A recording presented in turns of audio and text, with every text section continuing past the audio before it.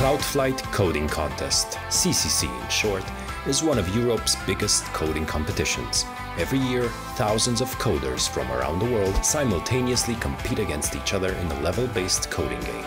They can use any programming language they want and can participate either by themselves or working in a team with friends or colleagues.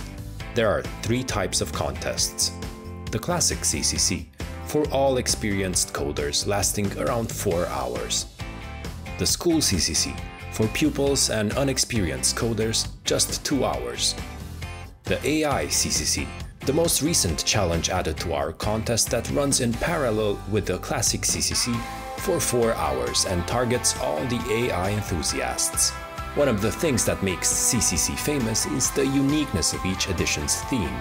We identify interesting topics and present them to participants in a motivating way. The topic of the game usually remains a secret until the event. Sometimes we reveal hints through our CCC newsletter and social media. You can always check the date of the upcoming edition on codingcontest.org. When the registrations are open, you can see all location hosts listed on the homepage and you can filter them by country and simply choose yours.